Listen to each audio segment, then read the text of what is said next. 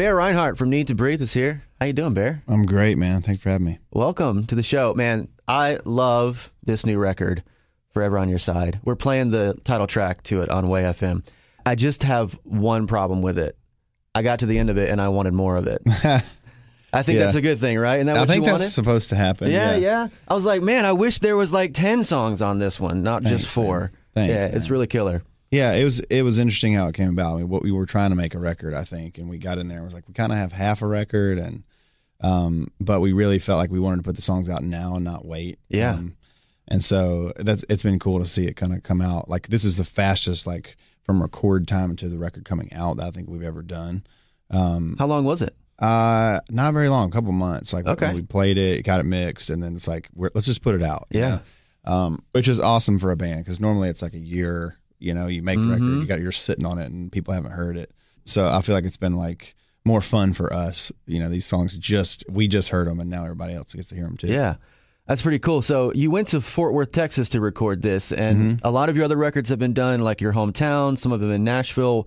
Why Fort Worth this time? There was a record uh, or a studio that these guys um, made a record for this artist called Leon Bridges that we really like, and we also just wanted to change the scenery. You know, I, Yeah. I think a, cha- a different challenge. It was a very old school studio, like live take, kind of like you know do stuff to tape and all that. So we just were like, let's go down there and see what happens. Yeah. Um, and we actually recorded a bunch of songs, some of which will be on the next album. Okay. um, right on. But I had a great experience. Yeah.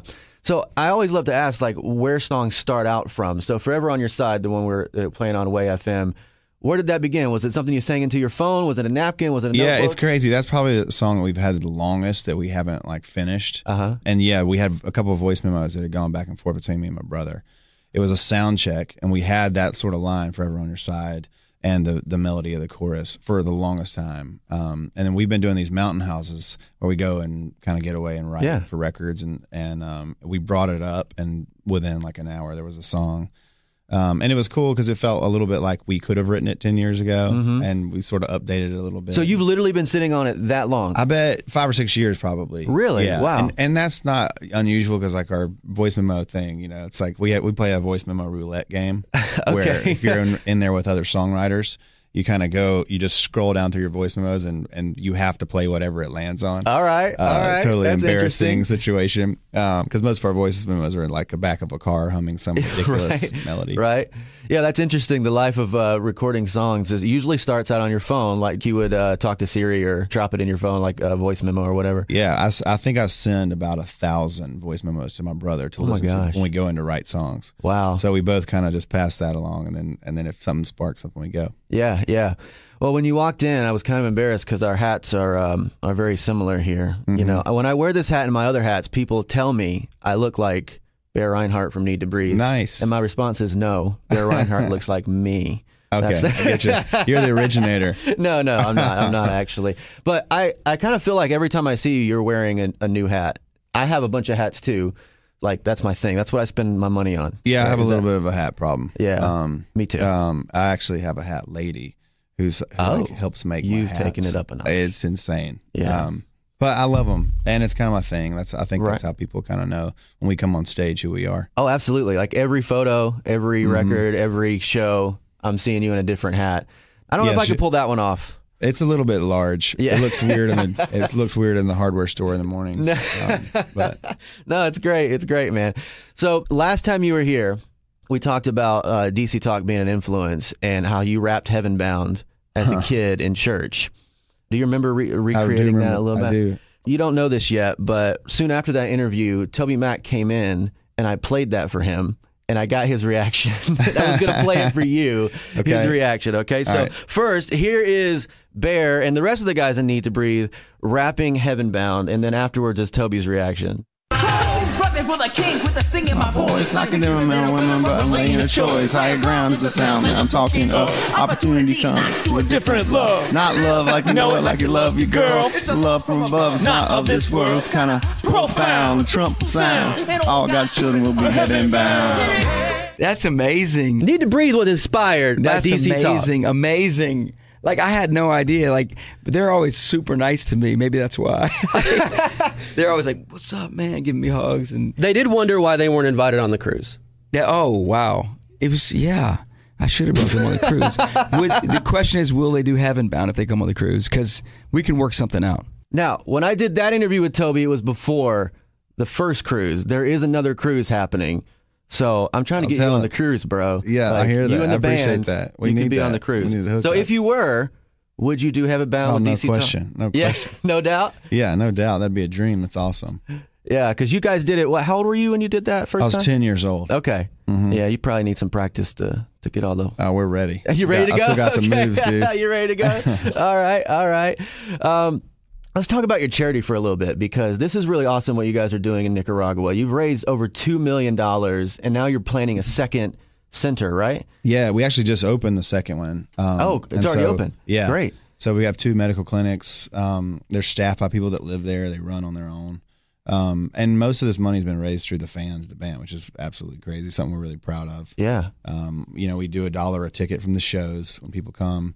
A golf tournament every year. Toby is actually was at our golf tournament this year.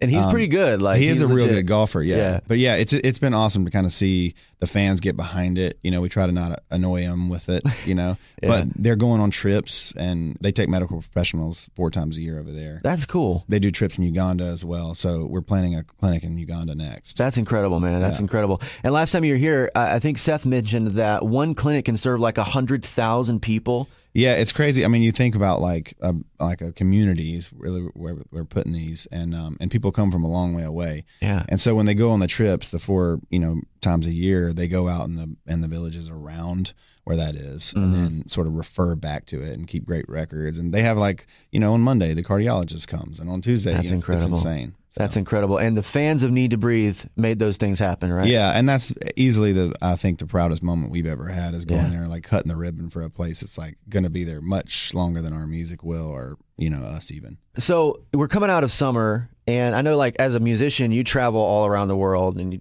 you play and you see a lot of different cities. But what do you do for vacation? Like, what is what does your family do to get away, or do you get away, or you just stay home? No, we do. I, I'm a big fan of the friend uh, trips. Okay. So we kind of go out like couples, like we make a make a week of it. But yeah, it depends, man. My my wife is super into the beach. I want to go somewhere where I, where I don't have to do anything. Yeah, right, right. That's my After being on the road, too, I'm right? like, man, Yeah. I'm just ready to. She's super into activities, so we kind of have to balance that out. And you got kids, right? You got uh, what a three year old and like a ten month old. Is I that right? do. Yeah. So are you doing like the Disney worlds and stuff yet? Not yet. No? Not yet. No, it'd be pure insanity. But they are they are awesome two boys and they're both absolutely nuts and wild. And Yeah. yeah, so it's it's a lot of fun. But our day starts at six AM and and That's you know nuts. with- yeah, it's insane. Yeah. So last time you were here, you were talking about your son, and you were you were saying how Bo's kids were like telling him like, "Daddy, don't leave," and your kids weren't quite that old yet. Yeah. So is your son there yet? Is it I'm making it starting harder to, I'm- leave It now? is- It, it does make it harder. Yeah. Um, my son is like he doesn't want me to leave when he's going to sleep. He's like, just sleep up here with me, Dad. Oh. you know that kind of thing. So it's like it doesn't matter if you're in another room or you're going to another state. You know, you want to be around your kids a lot, and Yeah. um, that makes it tough. We're I think our schedules are much better. We're our band is much more focused on that, you know, Mhm. than we used to be. Um, and so it's been awesome. And our kids love coming to sound check and that whole thing. I mean, we let them roll around and they get on the big video screens for the tour and all that. It's they, I mean, they love being around it. So you do get to bring your family out a lot when, you, yeah, when you travel. yeah, a lot more. It's just that just brings a whole balance to everything. You know Yeah. I mean, it used to be shows felt like life and death in some ways. Obviously, they're not. But Right, right. But when kids are around, it makes it. But that was clear. a pivotal point for you guys. Like there was a point where you were like, you know, you had to figure that out because you're on the road what 200 days a year, and Yeah, that's tough and it's like family. anybody else. It's like you have to enjoy work. You got to enjoy the present. You know. Yeah. Um, and that's what we had to figure out how to do, and not just think about like where what does this show mean for us tomorrow. You know. Mm-hmm. And so we're having a good time with it. Well, Bear, thanks for being here, man. I'm so grateful for your time. Thanks for talking about this new record. Thanks for making incredible music that I legitimately can jam out to. Like, Dude, thanks, brother. seriously, you get kind of jaded sometimes in this music industry, and you think you hear a great song, or you, but you legitimately make great music, and Thanks, I'm, man. I'm I'm thankful for your time today. I today. appreciate that.